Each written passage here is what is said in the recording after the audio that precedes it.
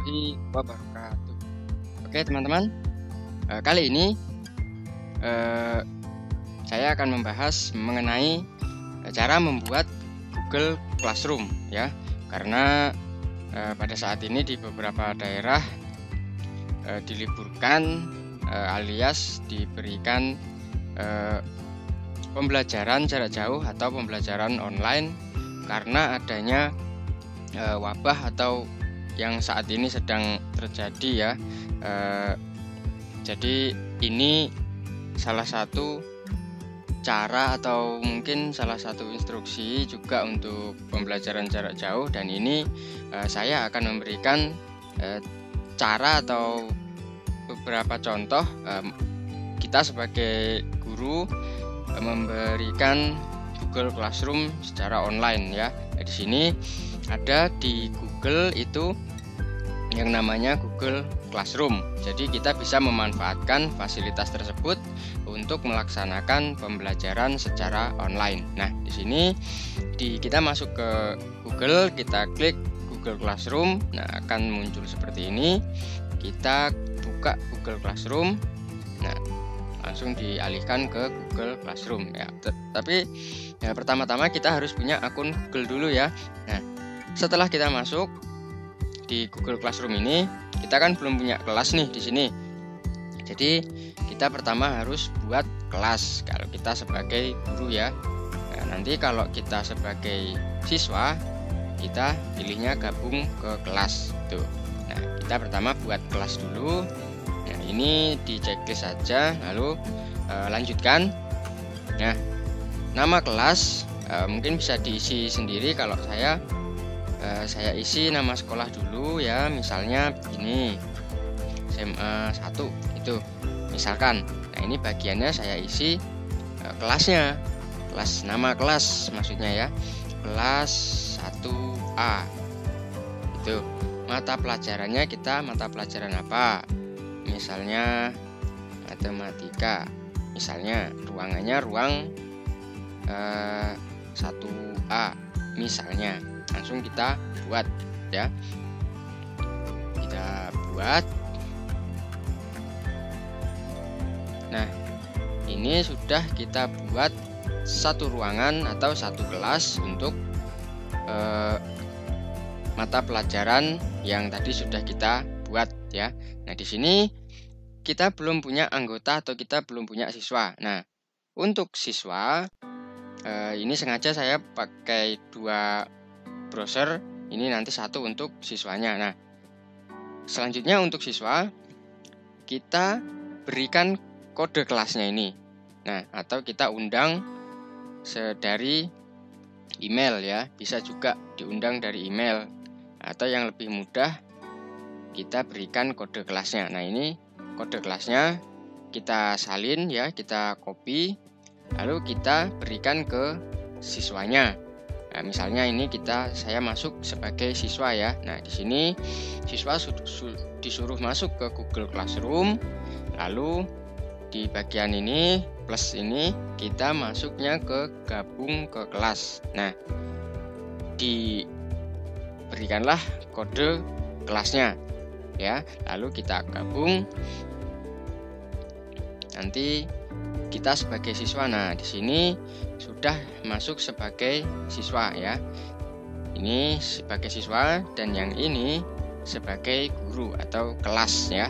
Nah, untuk membuat materi atau pertanyaan eh, kita masuk di tugas kelas ya. Coba kita lihat dulu anggotanya. Nah, ini anggotanya sudah satu ya, di, karena di sini tadi ya.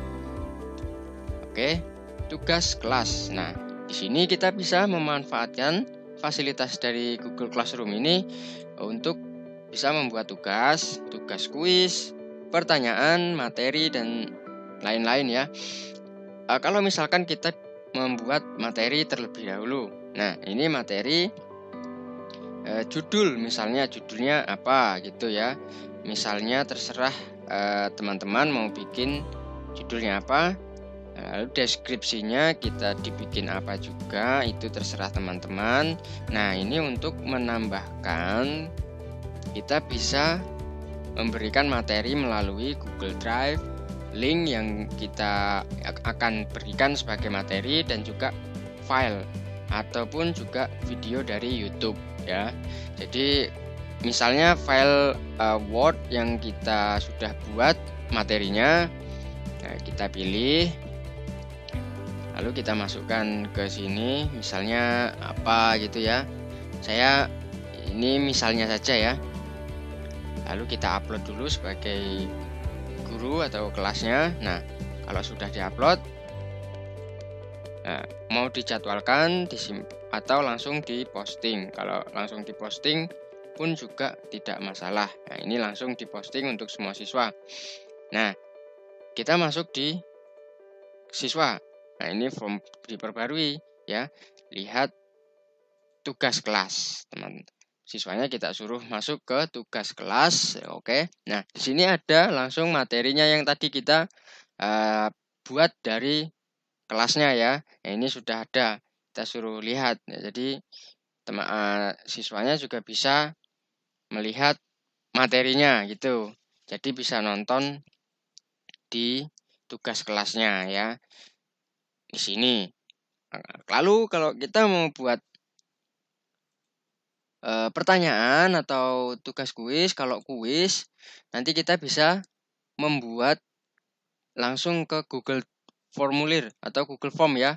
Nah, jadi kita diarahkan ke Google Form kalau mau membuat kuis. Jadi ini kuisnya bisa terserah teman-teman mau bikin kuis apa, kuis apa, kuis apa. Jadi nanti uh, siswanya juga akan menjawab dari sini yang sudah kita buat eh, dari Google Form ini. Jadi begitu untuk tugas kuis ya.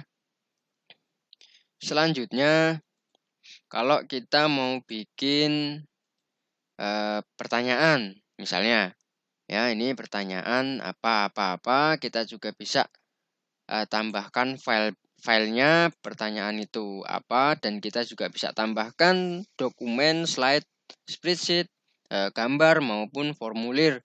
Nah, itu e, bisa berupa jawaban singkat dan pilihan ganda. Ya, ini e, lumayan benar-benar membantu untuk teman-teman yang ingin melakukan pembelajaran secara online e, atau pembelajaran jauh. Jadi fasilitas Google Classroom ini sangat membantu. Jadi sangat bisa digunakan eh, atau sangat bisa dimanfaatkan. Jadi bisa langsung beraktivitas seperti kelas ya, tapi secara jarak jauh ya. Jadi untuk teman-teman yang belum punya akun Google, segera bikin akun Google-nya lalu kita masuk ke Google Classroom. Nah, di situ kita bisa buat segala macam. Teman-teman mungkin bisa uh, membuat apa yang memang ingin dibuat di kelas tersebut ya. Jadi bisa berupa materi, bisa berupa pertanyaan, kuis dan segala macam ya. Jadi uh, untuk saat ini Google Classroom ini memang uh, sangat mudah juga dipelajari. Jadi nanti nilai juga bisa kita berikan dari sini kalau kita sudah buat uh, kuisnya atau pertanyaannya ya. Nah, jadi Google Classroom ini memang sangat uh, bermanfaat juga ya. Jadi teman-teman bisa pakai HP juga secara uh, Android ya, gitu. Teman-teman bisa langsung download di Play Store atau yang pakai iPhone bisa download di App Store juga ada. Nah, jadi bisa langsung dari HP pun bisa juga ya. Tapi yang terutama ini memang harus secara online karena fasilitas dari Google ya. Oke, uh, itu uh, pembahasan mengenai Google Classroom. Jadi teman-teman yang mau buat Google Classroom silahkan uh, di otak-atik sendiri caranya ya mudah sekali ya untuk tugasnya tinggal kita buat apa pun itu apa pun itu mau buat materi pertanyaan tugas itu bisa ada di situ semua. Kita bisa menambahkan materi, bisa menambahkan video juga dari YouTube atau bisa menambahkan link untuk materi-materi yang siswanya ingin dipelajari gitu. Oke. Sekian dari kami untuk pembahasan Google Classroom ini dan tetap semangat kepada teman-teman, uh, tetap jaga pola hidup sehat dan tetap berdoa semoga uh, segera berakhir wabah yang sedang melanda di uh, wilayah masing-masing ini ya. Semoga tidak ada korban selanjutnya dan segera pulih kembali kondusif kembali dan normal kembali. Amin. Oke, terima kasih. Uh, semua pertanyaan silahkan di komentar nanti kita bahas bersama-sama. Terima kasih. Wassalamualaikum warahmatullahi wabarakatuh.